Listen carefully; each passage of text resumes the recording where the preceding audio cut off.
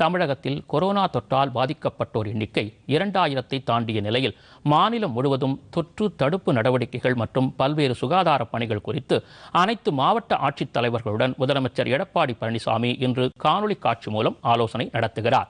நாடு தழுவிய ஊரடங்கு வரும் மூன்றாம் தேதியுடன் முடிவடைய உள்ள நிலையில் சென்னை உள்ளிட்ட சில மாவட்டங்களில் தொற்று பாதிப்பு அதிகமாக இருப்பது குறித்தும் அதனை கட்டுப்படுத்துவது குறித்தும் மாவட்ட ஆட்சித்தலைவர்கள் மற்றும் உயரதிகாரிகளுடன் ஆலோசனையின் போது விரிவாக முதலமைச்சர் விவாதிப்பார் என தமிழக அரசு வட்டாரங்கள் தெரிவிக்கின்றன. மேலும் மூன்றாம் தேதிக்கு பின்னர் புதிதாக தொற்று பாதிப்பு இல்லாத மாவட்டங்களில் ஊரடங்கை படிப்படியாக தளர்த்தலாமா என்பது குறித்தும் முதலமைச்சர் கேட்டறிவார் என்று தெரிகிறது.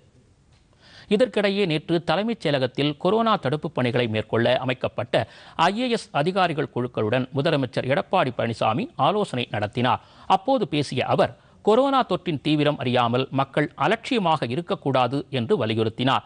கொரோனா தொற்று பாதிப்பு மேலாண்மை நடவடிக்கைகளுக்காக ஏற்படுத்தப்பட்டுள்ள பனிரெண்டு குழுக்களைச் சேர்ந்த அதிகாரிகளும் இந்த கூட்டத்தில் பங்கேற்றனர். கொரோனா தடுப்பு பணியில் உள்ள அதிகாரிகளின் செயல்பாடு பாராட்டத்தக்கது என்று அவர் கூறினார். கொரோனா நோய் தொற்றின் தீவிரம் அறியாமல் மக்கள் விளையாட்டுத்தனமாக இருக்கிறார்கள் என்றும் பொதுமக்கள் முழு ஒத்துழைப்பு அளித்தால் மட்டுமே கொரோனா பரவுவதை தடுக்க முடியும் என்றும் முதலமைச்சர் குறிப்பிட்டார்.